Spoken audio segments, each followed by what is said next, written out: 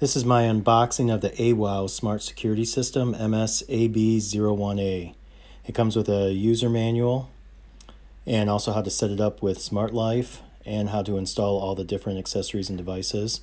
It has a motion sensor and on the back you can see it has a mounting bracket. Then you have the alarm or the actual Wi-Fi connector itself that bridges all these devices together. I have four of the window door connectors and they're magnet that pairs to them.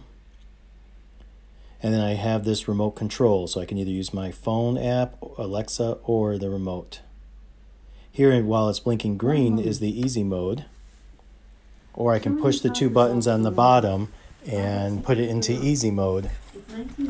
And once I'm in easy mode, I just go into the Smart Life app and say add device, use other, Wi-Fi connector, and you'll see that it wants to find the Smart Life Wi-Fi that's coming from this AWOW device.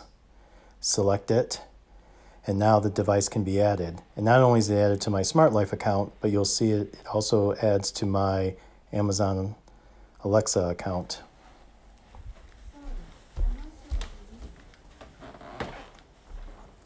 So here both devices have found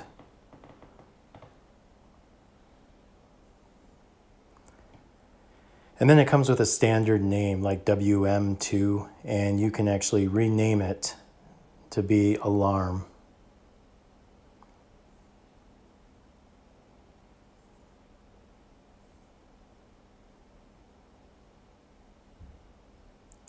After renaming, I can see now the alarm is in my Smart Life and I can see the status just from the app. Here I'm going to demonstrate using the actual remote control.